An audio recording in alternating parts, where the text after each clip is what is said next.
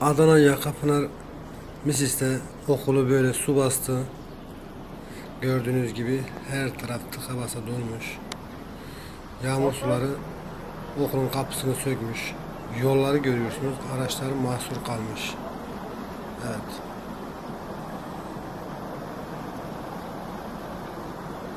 O kadar şiddetli yağan yağmur her tarafı yıkıp geçti.